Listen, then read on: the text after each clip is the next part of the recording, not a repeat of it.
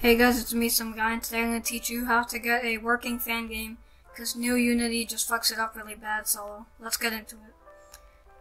So in my community post, there is a download link, uh, just download the zip file. Uh, you can use uh, WinRAR or 7-zip, just use something, and then extract it, and now we can get to actually putting it in Unity so it can work. Alright, so to find the a location where the Unity projects are stored, you want to go into any of your projects and you want to click on this on these three dots. Click. Then you want to click Show and Explore, and it's going to open a new tab. And then if you look, you'll see some of your fan games.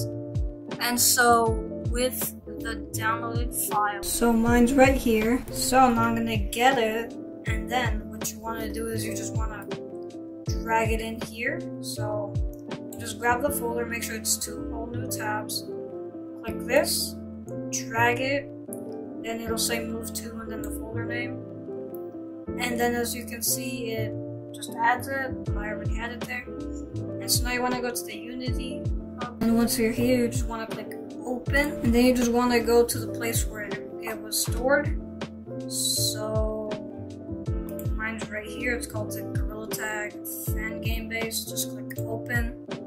And as you can see, it's going to open it. And in a moment, I'll show you that it works in VR. And as you can see, it works. I can move my arms around or my hands. As you can see, it works. Instead of your hands just being on the ground and not being able to move them, you can move them. So if you want to add Photon, just go follow my other tutorial. This just comes with the working Gorilla Rig and like a cube so you can move around. I would recommend opening this on an older version of Unity. Goodbye, gamers.